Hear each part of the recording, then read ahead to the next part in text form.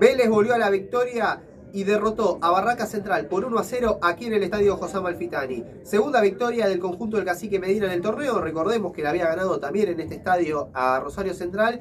Y recién ahora pudo lograr su segunda victoria que lo ayuda a salir del fondo y no quedar en la última posición. En el primer tiempo se vio dinamismo, se vieron muchas jugadas en ataque, Vélez tuvo caudal de fútbol, tuvo intensidad eh, y así de esa manera, al menos hasta el gol que vino de la mano de Walter Bow de penal.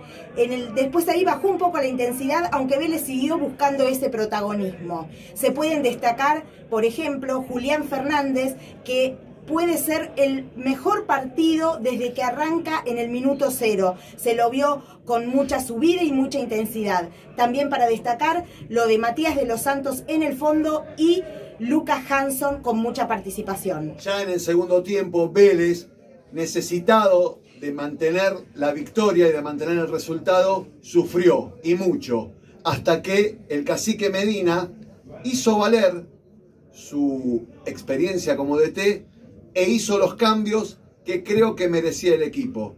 La salida de Prato y el ingreso del chico Osorio le dio otro dinamismo al juego de Vélez y a su vez la entrada de Valentín Gómez haciendo una línea de 5 para cerrar el juego hizo que se sufriera un poquito menos. Que eso no quiere decir que Vélez no haya sufrido porque Burián hoy fue un gran artífice de la victoria al tapar una pelota dificilísima que si hubiese entrado otro sería el cantar.